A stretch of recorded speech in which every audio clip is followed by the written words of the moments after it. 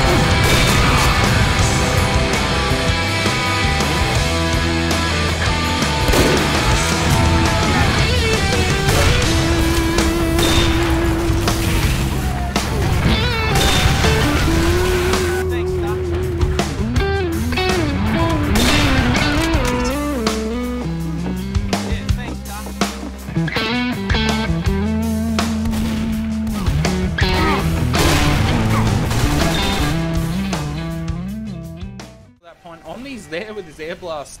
Uh, I guess he's known for it now after that last map. Stopping all the spam rockets coming in. But they're just edging the point so far. No real damage until Calski takes out Tal with a fat headshot.